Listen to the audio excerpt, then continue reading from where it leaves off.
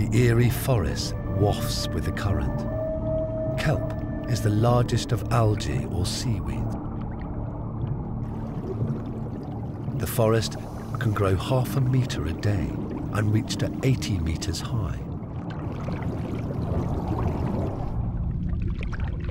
But as they get deeper, they begin to make out the shapes of animals living in this marine jungle. The spiny armour of a spider crab helps keep predators at bay.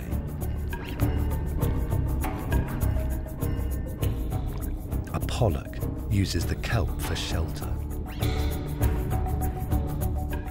Brittle stars, large cousins of starfish, clamber high to ensnare tiny prey as it drifts past. Between their five legs are five jaws, ready to devour almost anything they can catch.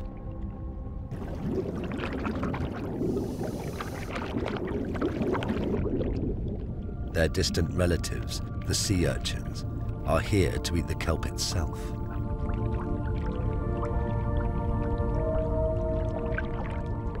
Urchin is the old English word for hedgehog, which is what they look like. They don't have eyes, but feel their way around with tiny, sticky legs. Too prickly for most predators, they can destroy whole forests of algae.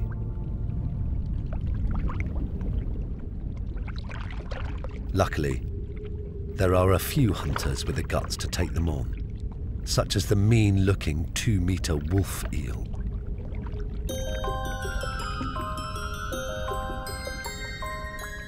The seafloor is a paradise for invertebrates, especially crabs. They seem to be everywhere.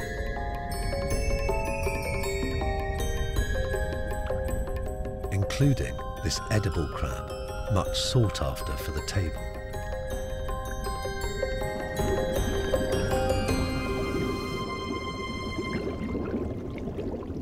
As the sunlight fades, spotlights are needed.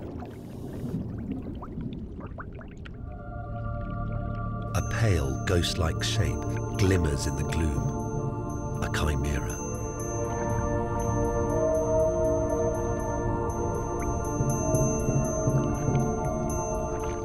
Chimera means made from parts of different animals. This primitive fish is the missing link between sharks and rays. Evolving around 340 million years ago, when the two species split, it's mostly shark, but still glides on large ray-like fins. They are the oldest group of fish, widespread in ancient seas, but now mostly confined to the deep. They are a rare sight in such shallow water.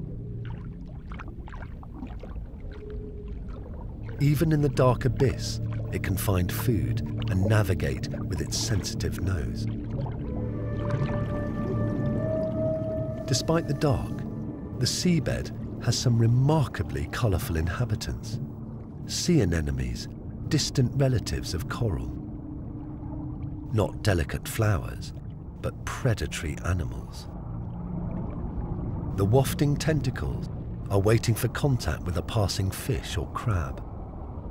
When the victim brushes past, the head of the tentacle explodes, harpooning the prey and pumping it full of neurotoxin. Beautiful, but deadly.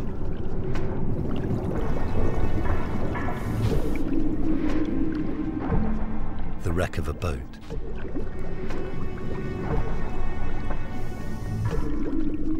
But around its corpse, there are signs of life.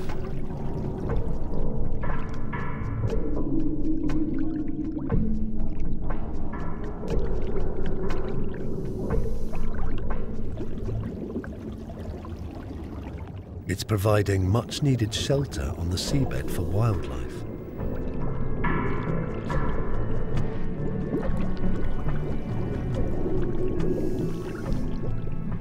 Sea squirts cling to the sides, their gaping tube-like bodies filtering water to extract plankton from the currents.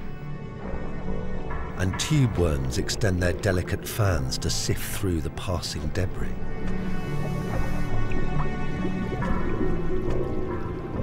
They are all creatures that would normally seek a coral reef, but the wreckage creates similar opportunities.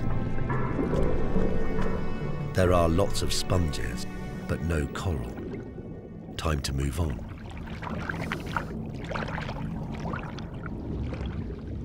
The chimera seems to dance in front of the divers, perhaps picking off plankton attracted by their lights.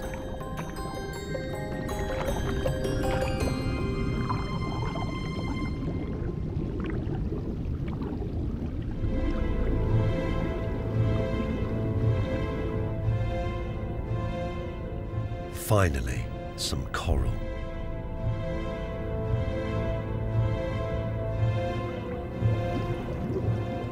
This is a tiny reef, just 30 metres long, but very productive. It may not be long, but it's tall, its skeletal mass towering above the sea floor. Here are sponges and other familiar creatures.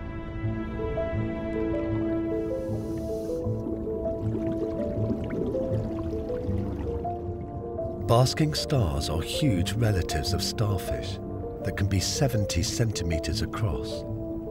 Their wriggling, Medusa-like tentacles waft, trying to catch passing debris.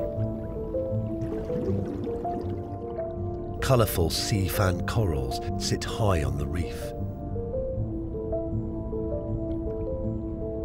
Nudibranchs farm the sea fans.